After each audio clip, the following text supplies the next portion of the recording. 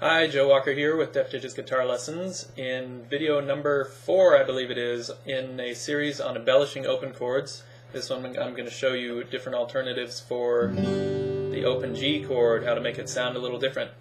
Make sure you've seen the article on my website. It should be linked in the description of all of these videos, uh, and it shows you all of the theory and the reasons why we're looking for these different notes. So the concept is for every string, for every note in the original chord, we're going to look at different alternatives for moving that note down one or two frets or up one or two frets. Alright, here we go, open G chord. Our first alternative is taking the, uh, taking the note on the A string. If you finger your G chord like this, it will be under your uh, first finger. Second fret in the A string, we can move that note up one fret so you'll have to change your fingering around just a little bit.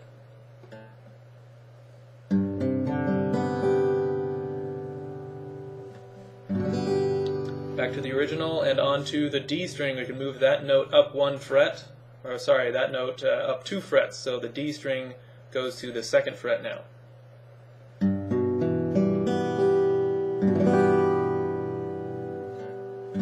And I just do that by barring my first finger across the lowest three strings, so it gets second fret on all three of them like that, and then my second finger will get third fret on the low E string where it needs to be.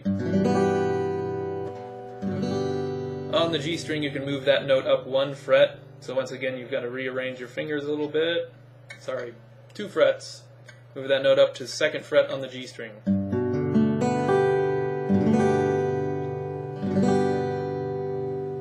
On the B string, there are two different standard fingerings for the G chord. The B string can either be open or on the third fret, like this where you use your pinky and your ring finger, both on the third fret of the high E and the B strings. So that's one alternative that's already in the chord. To get you a note that's outside the chord, you can move that to the first fret on the B string.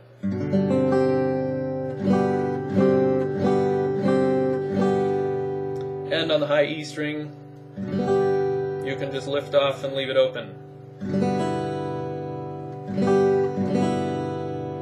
You can also move that to second fret on the high E string, another finger arrangement, rearrangement needed.